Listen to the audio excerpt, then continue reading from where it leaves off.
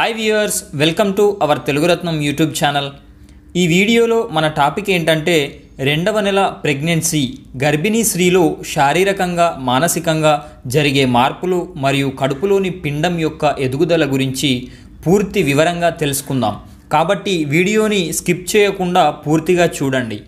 ముందుగా నా ఛానల్ని సబ్స్క్రైబ్ చేసుకోండి. అలాగే పక్కన ఉన్న బెల్ ఐకాన్ని క్లిక్ చేయడం ద్వారా నా ప్రతి వీడియో మీరు చూడగలుగుతారు. మొదటి నెల పూర్తయ్యేసరికి పిండం యొక్క ఆకారం బియ్యం గింజంత సైజులో ఉంటుంది. ఈ రెండవ నెలలో పిండం చుట్టూ ఒక పలుచటి సంచి వంటి ఆకారం ఏర్పడుతుంది. దీన్ని ఆమ్నియాటిక్ శాక్ అంటారు. దీని లోపల ఆమ్నియాటిక్ ఫ్లూయిడ్తో నిండి ఉంటుంది. ఈ ఫ్లూయిడ్లో పిండం తేలియాడుతూ ఉంటుంది. ఈ ఆమ్నియాటిక్ శాక్ పిండం చుట్టూ ఉన్నటువంటి టెంపరేచర్ను బ్యాలెన్స్ చేస్తుంది. అంటే టెంపరేచర్ని టెంపరేచర్లోని హెచ్చు తగ్గుల్ని నియంత్రిస్తుంది. అలాగే గర్భిణీ కడుపుకు తగిలే దెబ్బలు ఒత్తిళ్ళు వంటి వాటి నుంచి పిండాన్ని రక్షిస్తుంది. ఇక పిండం విషయానికి వస్తే ముఖ్యమైన అవయవాలన్నీ అంటే గుండె మూత్రపిండాలు ఊపిరితిత్తులు కండరాలు మొదలైనవన్నీ నెమ్మదిగా రూపుదిద్దుకోవడం మొదలు పెడతాయి ముఖంపై చిన్న గుంటలుగా ఏర్పడి అవి కళ్ళు ముక్కు చెవులుగా రూపుదిద్దుకుంటాయి. శిశువు కాళ్ళు చేతులు చిన్న బుడిపెల్లాగా ఏర్పడి పెరగడం మొదలు పెడతాయి. రెండవ నెల చివరి వరకు స్కానింగ్లో చూసినట్లయితే పిండం యొక్క గుండె కొట్టుకోవడం తెలుస్తుంది.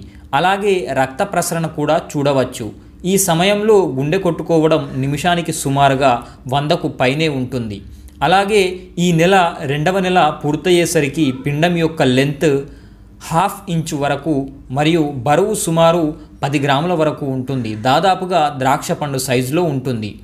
ఇక ఈ రెండవ నెలలో గర్భిణీ స్త్రీలో కలిగేటటువంటి మార్పులను చూసినట్లయితే గర్భధారణ కారణంగా గర్భిణీలో ప్రొజెస్టిరాన్ మరియు హెచ్సిజి హార్మోన్లు చాలా ఎక్కువ మొత్తంలో విడుదలవ్వడం వల్ల అలసట నీరసం మానసికంగా ఆందోళన చెందడం మార్నింగ్ సిక్నెస్ లాంటివన్నీ ఏర్పడతాయి.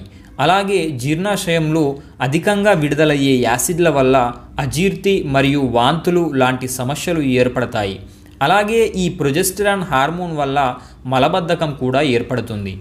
ఇది తరువాత నెలల్లో కొంతమందిలో ఎక్కువయ్యే అవకాశం ఉంటుంది. ఈ సమస్యలన్నిటి నుంచి బయటపడడానికి మంచి హెల్తీ డైట్ సమతుల ఆహారం తీసుకోవాలి. అలాగే చిన్న చిన్న ఎక్సర్సైజులు మరియు వాకింగ్ లాంటివి చేయడం వల్ల ఉపశమనం పొందవచ్చు.